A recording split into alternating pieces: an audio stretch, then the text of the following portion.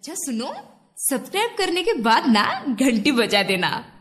ताकि मैं जब भी कोई नया वीडियो अपलोड करूँ तो तुम्हारी फ़ोन की भी घंटी बजे। दस रुपए का सिक्का रखने वालों के लिए अब आई एक नई खुशखबरी। दस रुपए के सिक्कों को लेकर आए दिन हमें मार्केट में कई बातें सुनने को मिल जाती हैं अधिकतर दुकान पर।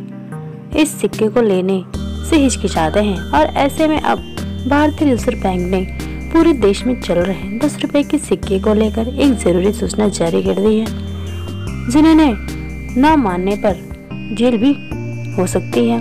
तो आइए जानते हैं, देश के कई सारे जगहों पर कई प्रकार के सिक्के लेने से इनकार किया जा रहा है और कहीं पर दस रुपए के सिक्के को लेने में दुकानदार आनाकानी कर रहे हैं और इसके अलावा कहीं पर तो एक रुपए वाला छोटा सिक्का नहीं चल रहा है। और इस वजह से आम लोगों को काफ़ी परेशानी का सामना करना पड़ रहा है, जबकि भारतीय रिज़र्व बैंक के मुताबिक देश में सभी प्रकार के सिक्के वैध हैं तथा कोई भी इसे लेने से इनकार नहीं कर सकता।